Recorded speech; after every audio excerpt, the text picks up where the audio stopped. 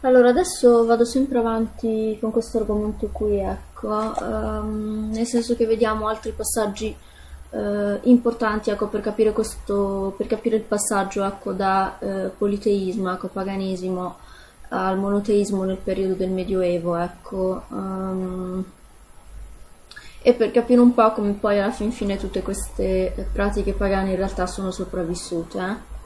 Allora, eh, a pagina 130, ecco, l'autrice, come abbiamo detto Michela Zucca, ecco, inizia una serie di analisi ehm, anche da un punto di vista teologico, che comunque, come dicevo, ecco, non sempre sono corrette, nel senso che lei eh, analizza principalmente il sentire del popolo, ma non il sentire della teologia, per dire, quindi tante cose che in realtà il popolo ha affermato da un punto di vista teologico sono assurde.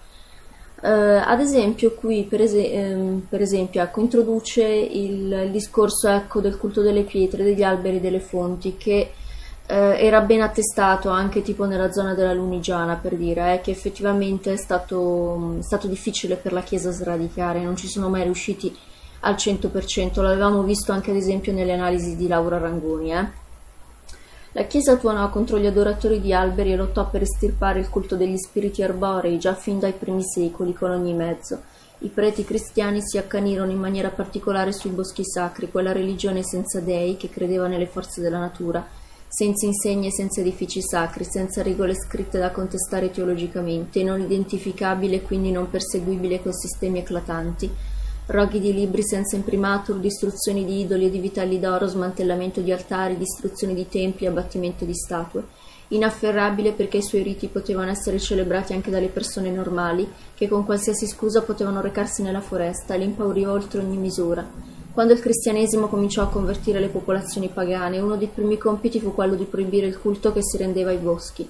Per dimostrare la debolezza e l'impotenza degli spiriti, le piante sacre furono segate e bruciate. Allora, questa è una cosa che in realtà pochissimi sanno, eh, però è così, nel senso che i primi, i primi anni, ecco, i primi decenni di... Mh, mm, quando il cristianesimo cercava ovviamente di imporsi e di espandersi, eh, in realtà mh, mm, ha fatto un vero e proprio genocidio degli alberi, eh. Tra l'altro io questa cosa la prima volta che l'ho vista è stato in un libro di Jack Bros, Mitologia degli alberi, che se riesco a ritrovare ve lo leggerò anche in diretta, comunque l'ho fatto uscire per pdf, ecco, questo discorso del fatto dell'odio proprio per gli alberi eh, che venivano bruciati e segati.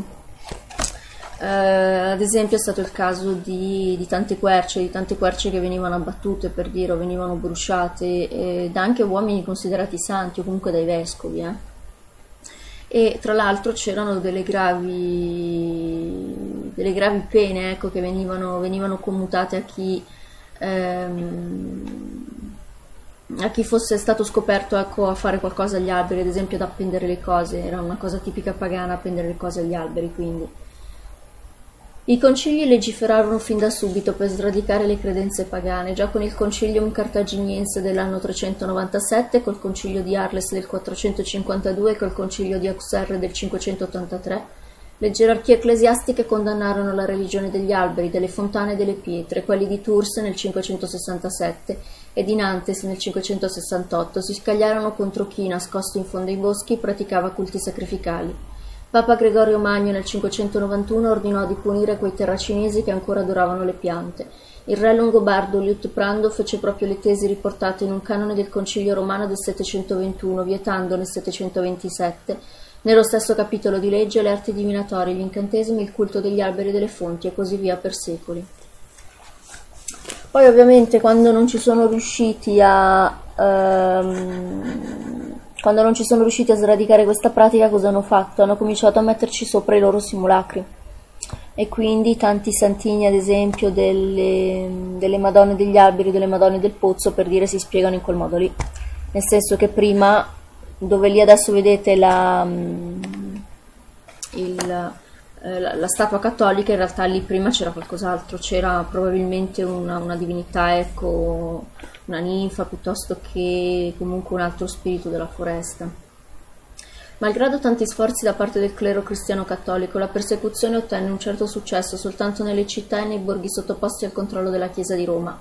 Ma anche inquisitori e missionari avevano paura di inoltrarsi nel profondo del bosco c'è da supporre che per lunghi, lunghissimi secoli molti degli alberi sacri siano sopravvissuti e che sotto la loro ombra protettiva si siano dati convegno quelli che rifiutavano l'omologazione cristiana.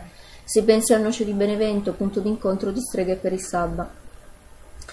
Uh, tra l'altro poi uh, in realtà il noce di Benevento risaleva ancora, ancora prima all'epoca longobarda. Nel senso che ancora prima lì dei Longobardi sì, praticamente c'era tutta una serie di riti e venivano per esempio appesi del, ehm, delle pelli di animali ecco, ai rami perché mm, molto probabilmente era comunque qualcosa legato alla fertilità.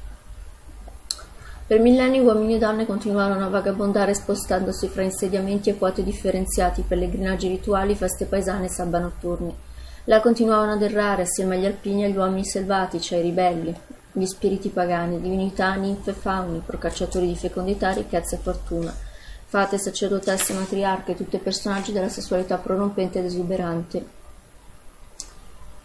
Poi, ecco, poi l'autrice ovviamente introduce Pan, eh, che come sapete era il dio pagano legato comunque a questo discorso delle selve, dei boschi, ehm, che poi ovviamente in epoca cristiana è stato, stato denigrato, nel senso che mh, ovviamente tutte le rappresentazioni eh, che noi abbiamo, ecco, le, le fantasie cristiane relative al, al, discorso del male sono prese da Pana da un punto di vista di estetica. Eh.